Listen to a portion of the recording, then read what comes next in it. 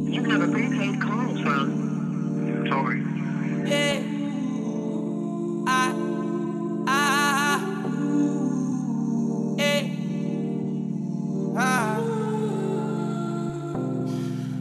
Hey, hurt. It hurt me before.